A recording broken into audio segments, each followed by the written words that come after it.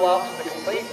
Amy Forbes is second, Davy Matheson confused with Day wearing blue, not his uh, usual red top.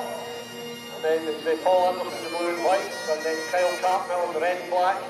Uh, also in the red and white, number 17, Paul Gallagher, and then uh, Craig Hamilton and uh, Charles Fletcher bringing up the rear as they head out onto the back straight. We're already down the bottom corner the second last time, and Ian Grant being passed by Amy Forbes at the halfway point. With 400 metres of this race still to complete into the home straight to come then.